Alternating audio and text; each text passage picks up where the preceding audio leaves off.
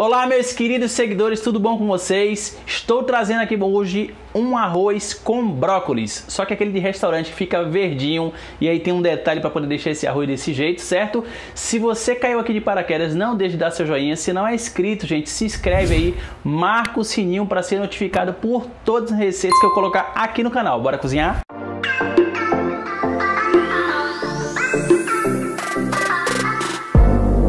Então, gente, como vocês sabem, todos os ingredientes eu deixo aqui na descrição do vídeo. Bora pra cá? Inicialmente aqui eu vou utilizar um brócolis. Eu não vou utilizar inteiro, tá, gente? Deixa eu passar água aqui nele.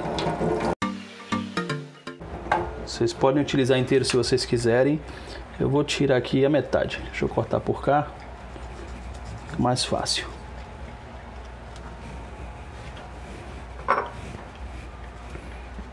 Inicialmente vamos cortar nosso brócolis, tira essa pontinha aqui. E vamos agora cortar nossos folhetes. Acho que o nome é correto é esse mesmo. Se não for, vocês corrigem aí no comentário. Vamos cortar tudo pequenininho.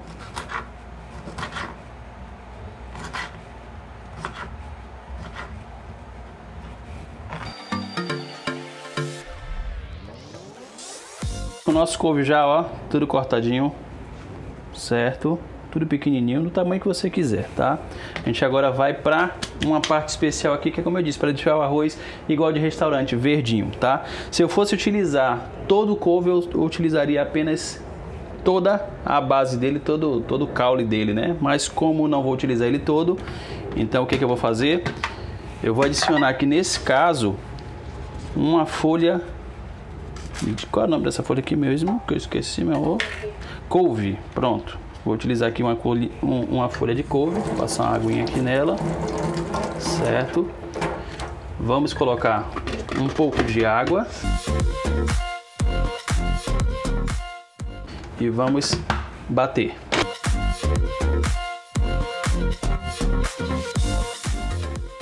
Pronto, gente. Estamos com o nosso líquido aqui batido é o que vai dar aquela cor bonita verde no nosso arroz. Vamos deixar aqui reservado. Vamos agora fazer o preparo do nosso arroz. Deixa eu ligar aqui o fogo. Vamos utilizar, gente, um fio de óleo. Se você quiser medir aí, dá em torno de duas colheres de óleo, tá? Duas a três colheres de óleo. Eu utilizo a medida na mão mesmo. Estou utilizando aqui dois dentinhos de alho certo? A gente vai refogar esse alho.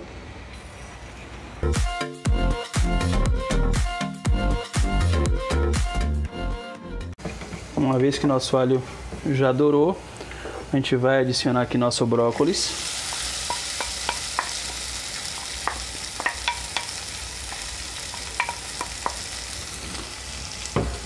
Vamos refogar por aproximadamente 2 a 3 minutos.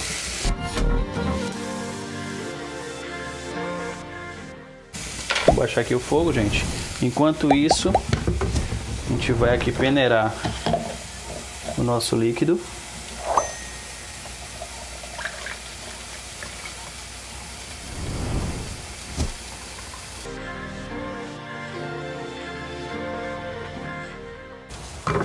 Vamos voltar aqui para o nosso refogado.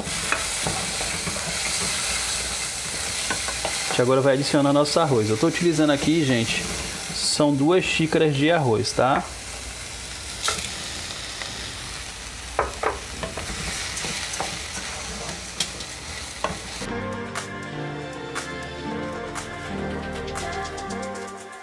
O nosso arroz aqui ele vai ficar bom, gente, quando começar a ficar todo esbranquiçado.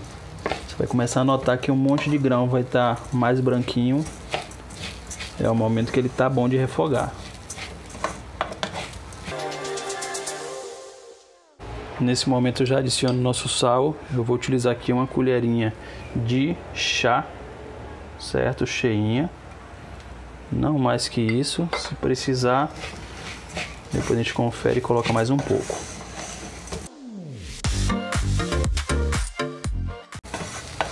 Aumentei de novo o nosso fogo, tá? Não sei se no vídeo dá para notar, mas já tem bastante grão esbranquiçado.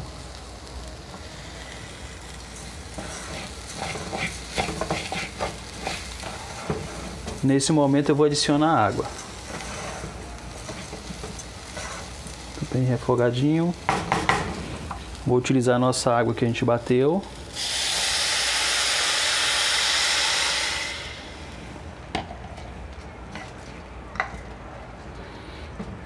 Tem um segredo na quantidade da água. É, no meu caso eu sempre faço aqui no olho. Eu coloco dois dedos a mais do arroz, passou o arroz para mim já tá bom. Dois dedinhos, um dedo e meio, mais ou menos isso, certo? No caso de vocês aí, o que, que vocês podem fazer? Se for por medida, a cada uma xícara de arroz, duas de água. Se colocar essa quantidade aí, você vai dar certo. Aqui nesse caso eu coloquei duas de arroz, seriam quatro xícaras de água. Vai dar mais ou menos essa quantidade. Aqui eu vou esperar ele cozinhar, certo? Eu volto assim que ele cozinhar, quando ele secar, e a gente vai ver se vai precisar colocar um pouquinho mais de água. E aí eu ensino para vocês como é que a gente faz a, a verificação e, e adicionar essa água, tá? Eu vou aproveitar para olhar nosso sal. O sal aparentemente está na medida. Vamos agora cozinhar, daqui a pouco eu volto. Como eu disse para vocês, que quando eu tivesse já seco que eu voltaria para poder colocar água. Depois começou a levantar fervura, ficou aproximadamente 8 minutos e aqui, ó, nosso arroz ele já começou a secar, porém ainda está cru, certo? Então, eu vou colocar um pouco mais de água.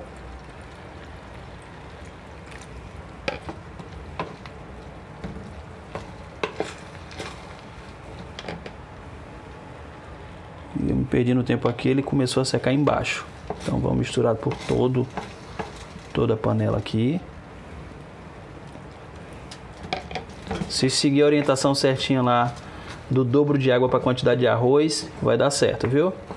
Acho que se você não tiver experiência aí com, com panela, com cozinha, né, com fogão, o ideal é fazer na proporção exata. Pronto.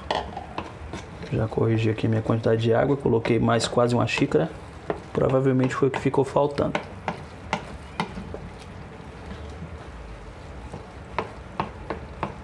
Daqui a pouco eu volto com ele já cozido. Se vocês olharem aqui, ó, o grão tá quase quase molinho. O sal aqui tá na proporção legal. Então secou aqui, eu retorno. Nosso arroz já cozinhou, certo? A gente já consegue ouvir o barulhinho dele no final. Eu vou desligar o fogo agora e a gente vai colocar a nossa tampa, certo? A gente vai esperar por aproximadamente 5 a 10 minutos para poder concluir aqui, algo tá quente, concluir aqui é, a secagem dele, tá? A secagem da panela.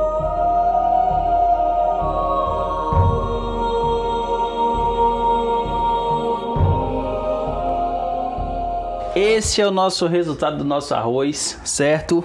O cheiro tá tá muito bom, tá muito bom mesmo.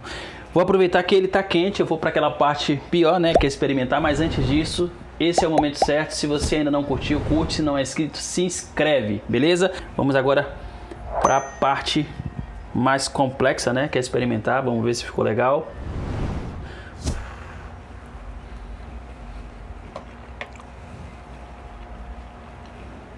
Tá divino, viu, gente? Perfeito. Então é isso. Espero vocês no próximo vídeo. Fui! Ah, antes disso, gente, eu vou deixar um card para vocês aqui no finalzinho do vídeo de um peixe frito aí, beleza? Fui!